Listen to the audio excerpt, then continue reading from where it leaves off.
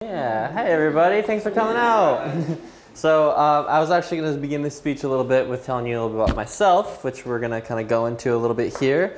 Um, and then I'll explain a little bit about my background, and then we'll go into the pieces that you all see in the gallery and a lot of the concepts uh, came up behind those pieces and what led me to here. So to begin with, um, as she just said, I a big part of who I am came from my experiences growing up as a pro snowboarder. At a very young age, I was sponsored by my local board shop in Reno, Nevada, and um, by college, I was a professional for a number of snowboard companies. And at this time, I was raised in a very small conservative town. Um, it was actually nicknamed Prison Town, USA, because of all the four surrounding prisons around it. and um, I kind of used this sport as my escape um, and ended up being my ticket out and ticket to photography as well. So I was traveling a lot for snowboarding. Um, you can see here on the left, that's me and one of my best friends. We just packed all of our stuff, like huge bags, and we're traveling all around Japan um, filming. Um, but as it goes for many, my youth kind of expired, and I had a career-ending injury in Canada actually just a couple years back. And at this time, I was based in Lake Tahoe. And this is when I really started to notice a stark change over the years. Um, we are seeing a lot stronger warming cycles, wetter seasons, and increased more dramatic weather cycles, so a change in seasonality. And I remember going from like two or three years without snow to suddenly just getting completely buried, not seeing the sun for months. And I think the last year I moved there, I moved out. Um, we actually had a tunnel of snow leading to our front door, and some people had like snow up to the second story windows. It was just we were buried, and then it went dry for another three years. So it was it was it was kind of a, some big changes, and it was really affecting the lake clarity as well. If some of you guys have read that in the news, but um, so it's pretty obvious that climate change was in our basin. And I knew I wanted to use my camera to communicate this, but I didn't totally know how at the time, so I was kind of searching. And for me, living out there, climate change was on the forefront of all of our conversations. Everyone out there had a tie to the natural world but when I moved here, it kind of seemed more of a far away conversation, um, especially in the city. But no matter where I was based, I still had these very primal connections to the environment, especially glaciers. Um, I actually used to live in my truck. Uh, I'd spend summers between Mount Hood Glacier and Lake Tahoe, and some, or we'd uh, shower in the lake. And so don't worry, I was clean. but everywhere we were, people were aware of what was happening, but they weren't as connected as um, some of the people living in our trucks. But I was kind of wondering why, why this was. And so this leads me to my transition over to my project, Portraits of Ephemerality. So looking at our place in the world, we're all cognizant of our presence on the environment. And with that, if we look at humanity as this force inflicting change on the world, then we have to look at our propensity to bicker and question over our political and ethical responsibilities of the environment. Uh, philosopher Ingela Weeman once said, many of our ecological problems can be traced back to a dichotomy of mind and nature. So if we look back at early civilizations, many of those uh, people had infrastructures and rituals deeply connected to the beauty and significance in nature. But in this developed world, we have kind of detached ourselves from those core values, prioritizing quick economic profit and short-term benefits with a tendency to kind of alienate the scientific community. And as a photographer, what does this mean? How do we approach this? Well, Pulitzer Prize winning journalist Elizabeth Kolbert once wrote, the most significant change from a geological perspective is one that's invisible to us, the change in the composition of atmosphere. Carbon dioxide emissions are colorless, odorless, and in an immediate sense, harmless. So this brought on a really important question for me. How do you photograph change when that change is invisible? And these are the questions that has informed my approach here. So, Portraits of Ephemerality is a photographic series started with land glaciers in Alaska, where I combine traditional landscape photography with contemporary portrait lighting to isolate the fragile elements of the natural world most immediately impacted by climate change. So in short, I'm looking at the ice as a subject in a studio. Um, and the big question I get with all this is, well, how do you get that light? How do you do this? Is it Photoshop? And no, this is actually just what you see through the viewfinder. Um, and I don't go into detail with all of the pieces because each piece has a different light, uh, light situation. So for this one, um, I actually used a light on the bottom of a drone to give it the hair light, if you will. So that's how you can kind of get it up that high. And then I um, installed two other lights to come from the side to kind of act as the key light, if you will. And there's a theory in the photographic world that photography is a fossilization of light, and that same fossilization is said to document illustrate the precariousness of the human habitat. And so I'm trying to suggest a similar framework in this project. Like fossils, these photographs are molds of singular objects in a rapidly changing environment. This is an alternative process though, so it uses light to create an impression of their physical forms more to memorialize them. And now, looking at these photos, um, I've purposely obscured the scale and I get asked a lot how tall are these and so right now I'll tell you they're about 70 to 150 feet tall. Um, and while bringing into focus the complex forms, the light is bringing the sense of awe and romanticism, while pulling it away from the rest of the scene to make these giant structures feel more small and alone. And that is also why I didn't add any human elements to that. I want you to keep pondering over and kind of guessing, so you have to look a little closer. And so another thing I get asked a lot about is um, the, uh, process and the approach, and it's something I'm so incredibly bad at talking about, because growing up climbing and snowboarding, um, the approach is just kind of part of the fun, right? But um, so for this series, we took out these giant fat bikes. Um, they have these huge studded tires on them, and we biked about 14 miles or so um, across this frozen river until we reached the terminus of the glacier, where the entire glacial lake had frozen over and locked these giant icebergs in place for the winter. And when we're out here, it like looking at this, you feel like it should be completely silent, right? We're about 50 miles away from the nearest person or structure, um, but that's far from it. This was it was very loud. So. In what way? So every now and then we'd hear these loud booms and cracks as the ice would like tumble and shift all around us. And you think that'd be magical, right? But if you're on this glacial lake uh, very far away from land, absolutely terrifying. and so yeah, actually one day on the like one of our scouting days, I got a little bit brave and I kind of took a wrong turn, got a little too close to where I shouldn't have on the on the terminus, and all the ground around me just sunk about six inches. And have you seen those movies where the main character is just like running away from the breaking ice? I felt like that, but instead of breaking behind me, it was all around me. So I was just like, all right, time to get out. Hopped on the bike and just started going as fast as I could. And yeah, it was very scary. And I knew, all right, that's an area you can't go over anymore. Um, and so at the same time, while the ice was flowing underneath you, because we're on the glacial lake with the streams, um, and this is a huge um, kind of Arctic area, the ice underneath has two different flows um, sometimes, and they'd meet each other like this, and they'd push up ice and then break. And I'm going to go back to this one right here. And so you can see it right here. And so the two different currents are pushing the ice up, and they're thin, so they'd push up, break, push up, break. So if you were really quiet, you could just hear creaking, breaking, creaking, breaking, and that was just building up and breaking. So it was a very humbling experience, to say the least. Um, and so in other instances, again on this trip, we were out there, we did a couple scout days, wanted to make sure, got all the compositions I, I wanted. I went back, I drew a diagram of how I was going to light everything. But then all of a sudden, a big heat wave hit. So they were in Alaska, middle of January, and it all of a sudden is 45, 50 degrees, and it's just totally not safe to be out there at that point. And so yeah, we had to give it some time, wait it out, and by the time we actually had the chance to come back, everything had locked up, but everything had frozen, shifted, um, changed shape, and all this new snow had come on top of it. So it was just a completely new landscape. Um, and this is all kind of to say that, in my experience, these glaciers react to us. Sometimes they're sassy, sometimes they're nice, sometimes I say, get out. Um, and with that, I actually want to pause and tell a quick story. So this is a piece not shown in this gallery right now, um, but this is of Kennicott Glacier. And it's the most recent photo added to the series, and it feels much more different. I purposely added this kind of softer studio light because I think it tells more of a story in this instance. And this glacier is a rock covered glacier, debris covered glacier, if you will.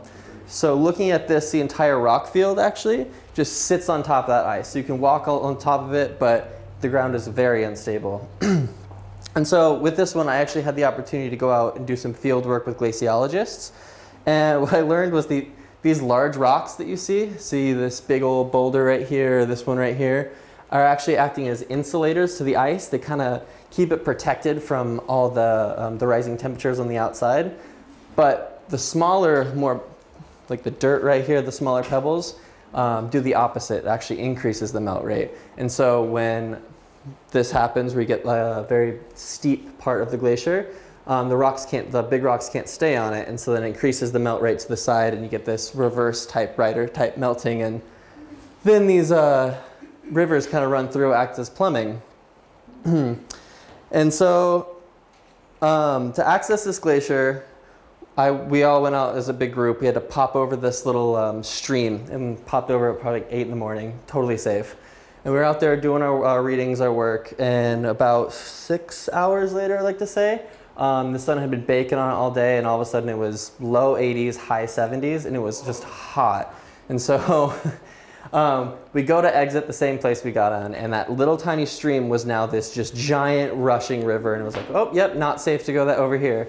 And this is when one of the glaciologists said, um, oh, she's being sassy today. And I was like, it's hot, of course. and so then we had to march down the river to kind of find our exit point. And it was about, I think, two miles or so of walking, which, you know, walking two miles is not that bad, but walking two miles on this was a whole other breed because it started to go from like small little hills to these really, really steep caverns and just having to climb back up. And we eventually ended up finding this um, ice bridge over the, the Now River. And it was about 35 feet thick and 300 feet off the ground and 10 feet wide. It was very precarious. They marched over it no problem. And I was like, sure this is safe? And so it was a little bit scary.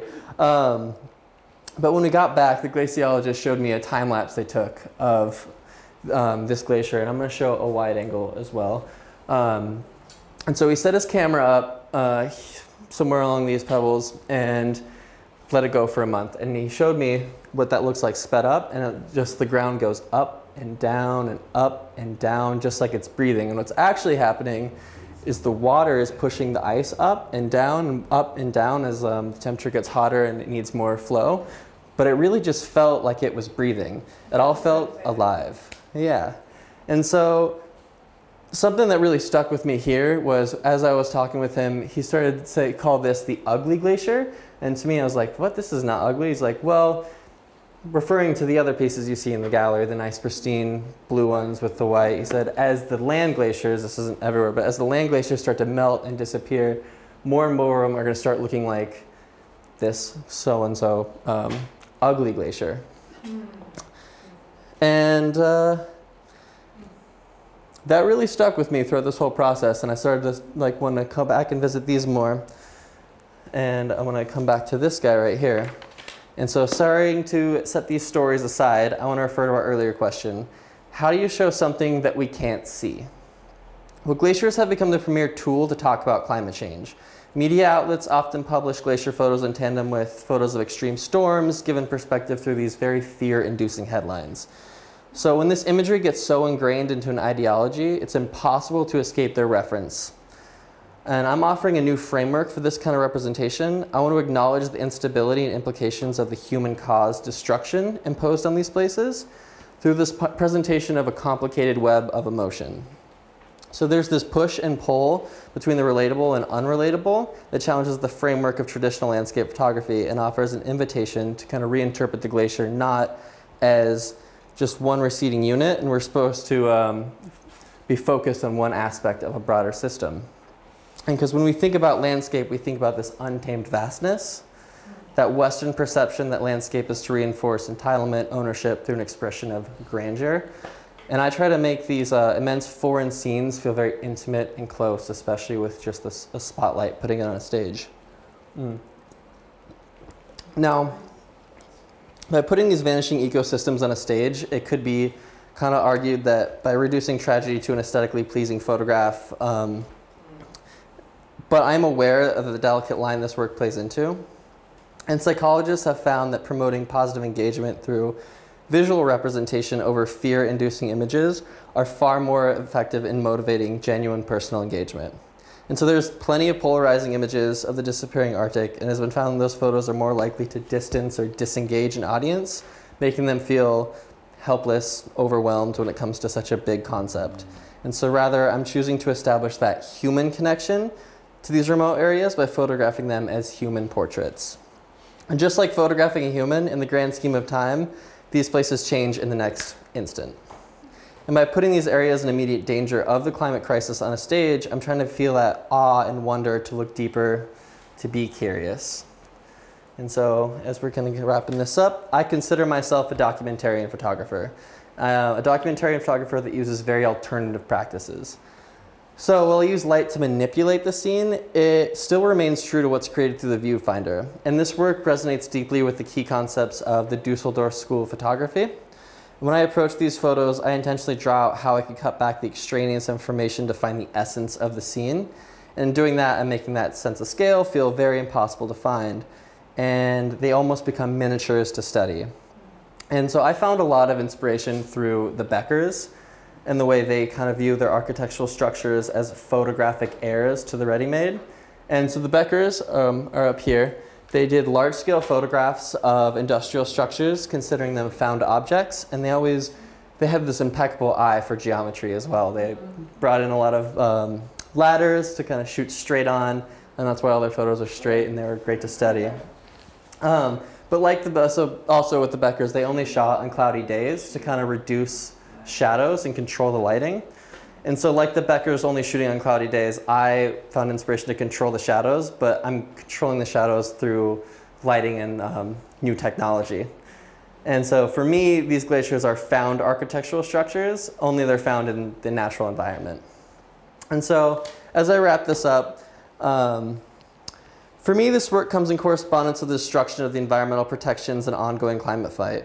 It's almost, uh, it's more, more important than ever to implement the climate policy now, which we have just seen is absolutely not happening.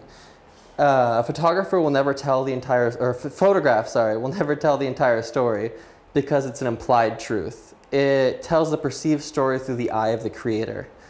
So if I can't photograph an invisible change, then I can use technology of light and the camera to communicate stories and complex concepts into a simple manner. I can play into human emotions, memories, increase awareness, and influence personal opinion.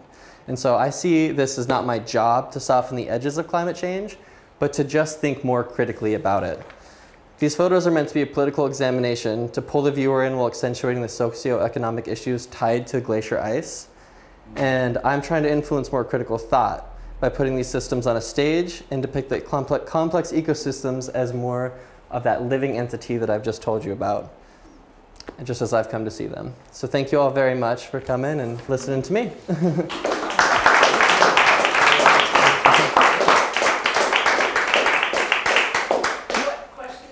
Absolutely, yeah.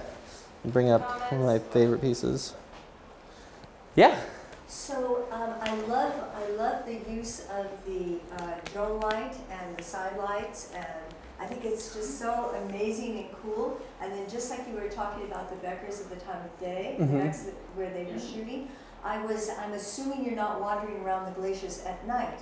so are you controlling the light that comes in the camera and then shooting the um, having the lights go off, like strobe lights? Yeah, well, I'm totally exploring it at night. I mean, like. This is really at night? Yeah, well. Oh my gosh. I mean, in Alaska, the night is all the time in the winter, so this is like four in the oh. afternoon. Oh. But yeah, it's still, it's. Uh, yeah, so we like we go out a couple times during the day to like okay this is our route we know how to get there yeah and so then we go back we drop the diagram like I want to light it like this I'm gonna set my camera here so we have our plan and then we go back when it's completely dark so we can be like this is what we want yeah.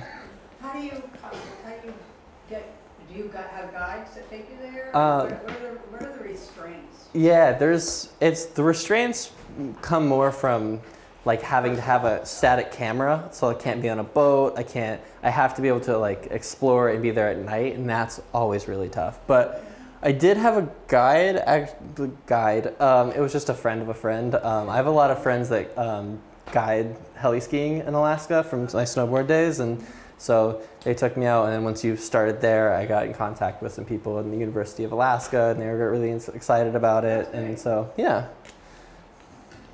Any other questions for me?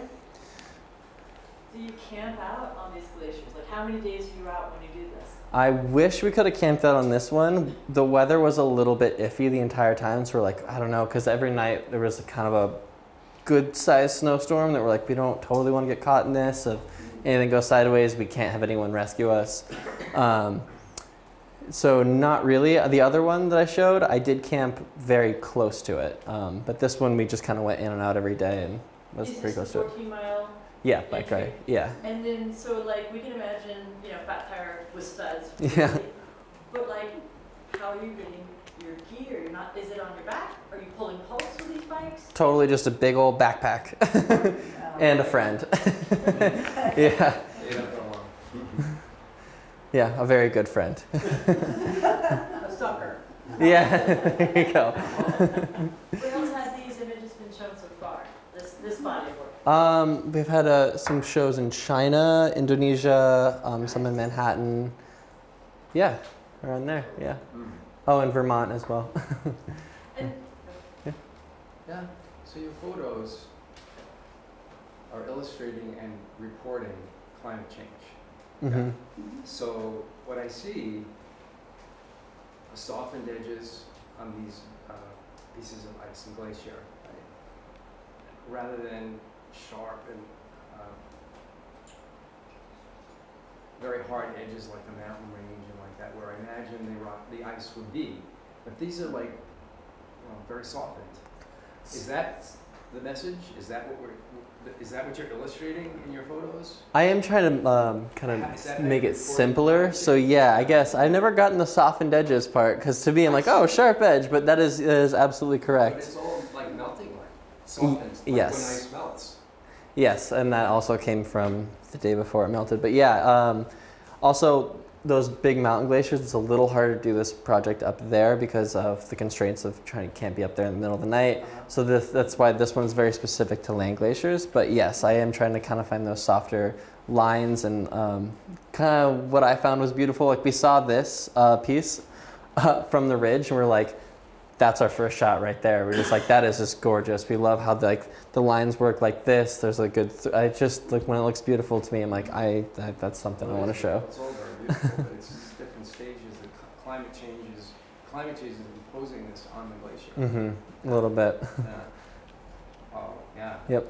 The whole concept of breathing, the whole concept of the movement and the change and the back and forth is fascinating. Thank you. Yeah, that was it was really stark when I first found that out. I was like, oh my gosh, this is actually like reacting to us. So do you feel that you have um, received any kind of positive response to this? What, what kind of um, people or jur- journalists have written about some of your work to say that the, you know, message is getting through? Uh, It's it's a, definitely a mixed bag because some people look at it and they're just like, oh, gorgeous, and then they get wrapped up in like the technology behind it of like, how do you do that? And a lot of times yeah, I'm like, oh, I think they just want to try it for themselves, which is totally cool. Like I don't own the patent on this. I did not create drone lighting, um, but the, some people have really accepted the miniatures in a studio idea. They really like that line where they um, kind of just study it more. Um, and it's kind of such a new idea. There's only one other person that I can think of that is actively pushing drone lighting as much as it is now. Um, and so everyone's just more caught up in the con- or the technology. And so like this is the first time I've been able to really speak about the concept. Is only uh, to a couple of people so far. Hi, Hi. thank you for coming. What, Thank you. um, What's the next project that you're working on? I mean, living in Brooklyn, I'm sure you're not seeing a lot of ice, so Especially now. I'm just curious what you're. Uh, there's a couple uh, ideas. I was supposed to go to Chile in October, but unfortunately that did not ha- uh, pan out as I wanted to do. Uh, I'm trying to kind of gear up and practice some ice climbing the earlier um, earlier winter and kind of see where that takes me. I have some ideas, but I don't want to say it in case it doesn't happen. and Everyone gets disappointed, but um, definitely still going up north. I don't have any plans to go south in Antarctic like you've seen the other I was there places. last year in Antarctica. It's amazing. If you want to see ice. I'd love to. I also really want to climb some of those peaks because apparently you can rock climb a lot of those places now. Yeah. Special. Could, could you speak about this particular? That's piece at all? n- not mine. That's uh, John Paul's behind you. He'll speak that one. Can I ask you about scale? sure. So this kind of, um, this is like a materials artist question. So you're a photographer, and so y your work can exist sort of in a virtual sense. We can see it on our computer screen. We can Mhm. see it you know, or, or we could see it in print. And so my question is, when it's in print, what is your ideal scale? Great question. I love to see them huge because I shoot with a medium format, um, 100 megapixel camera, to specifically get as much detail as I can out of each little piece. And because of that, um, actually with this one, um, you can um, sometime if you guys ever want to see it. Um, there's little these tiny little droplets, and that's the only thing that gives it scale. But it really also shows um, action and tells a story with that. And so I love to see them big, but also with this one, I like to see this one small because that one specifically is really big. But it also kind of gives you that like juxtaposition between small and large with that. In your transition from snowboarding to photography, environmental photography, climate change photography, did you go through sponsorship withdrawal? Uh, with I uh, actually the exact opposite. um, when I quit snowboarding to start photography, I wasn't totally supported by the companies. They were like kind of just like left me by the wayside. And then when I started doing this drone lighting, I actually tested it out on a snowboarder first, um, and got picked up by a couple places. And the company that I used to ride for um, hired my old roommate to do that because he lived with me and knew how to do it. so he like totally stole the concept. I got a call from him a couple months ago. He's like, "Dude, how do you do this? I'm stuck here. I couldn't figure out how you do this." I'm like, "Why'd you take the job, man?" but so yeah, exact opposite. this was all um, saving up and just trying to figure it out on my own because no one really. Find yeah. his own. Exactly. But yeah, no one really understood the concept when I first pitched it. They're like, "There's no way you could do that," because I've been trying to do this since my undergrad when I lived in Tahoe, and I finally had to just like fund it myself. Well, talk about the immediacy of the importance, the importance of immediacy. How many of these exist? Uh, oh. I mean, I can't give you an exact number on that, um, but I can tell you that I can tell you the melt rate that a lot of them are in, um, in Alaska are disappearing.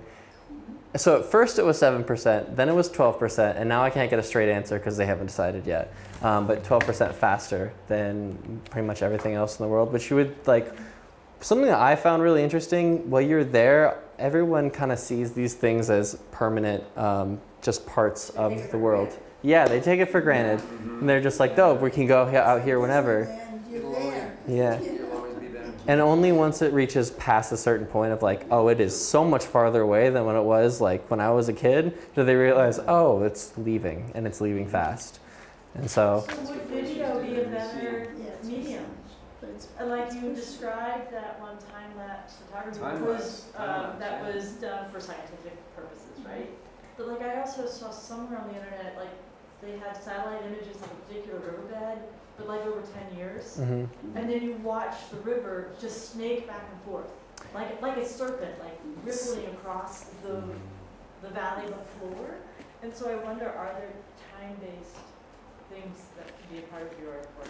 For me, um, I like to keep it very still and quiet like this because I think when you see these things happen over a long period of time, happen so quick, that's when you start to get that panic, that um, worry, that everything gets like a little bit too much and you have to take a break. When this, you can kind of enjoy it, but we still have this conversation because we've been looking at these. So it's still i behind it, and I don't have to be the one to make you sad.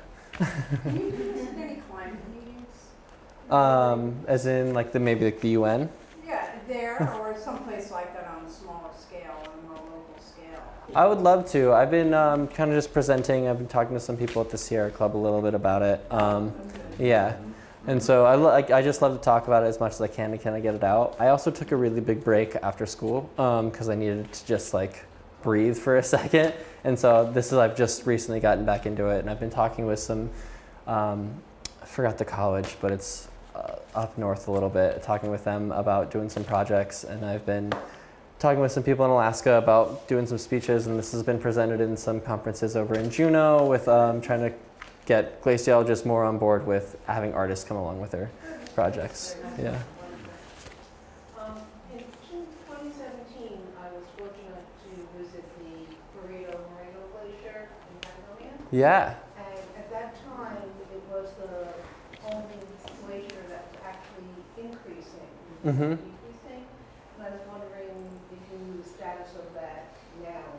Don't know that specific one, but I do know that there are some glaciers in Patagonia that are increasing, but also a lot of them are receding because of that, and it kind of just goes in yeah different patterns. So some of them are still increasing, but it's not like a, a sustainable rate of like this is going to keep doing it. Um, and you, there's some kinds of ice that are not getting made anymore because of that, because they can't freeze for a long enough time. Thank you very Yeah, much. thank you all very much for coming. Thank you.